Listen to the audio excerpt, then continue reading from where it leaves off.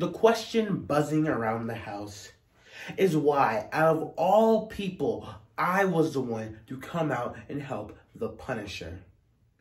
And here I am giving my exclamation.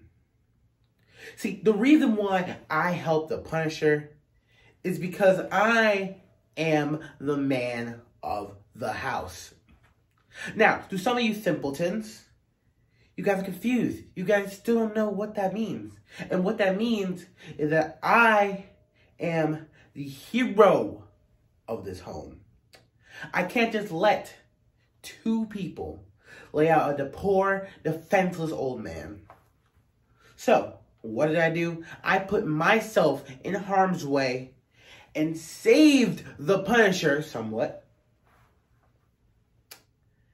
Because that's my duty as the man of this house. Because who else was going to step up? Hmm? Hmm? I didn't see Brooks.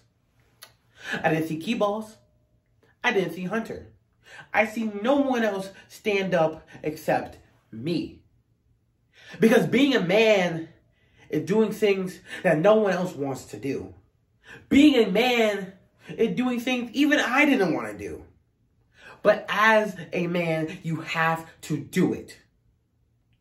So now we get on to the misfit triad of Shock, Grimes, and their new recruitment.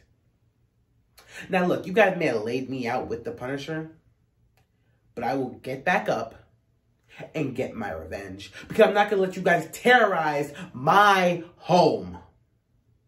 So whether I go with a partner or I go at it alone, you guys will not terrorize my home.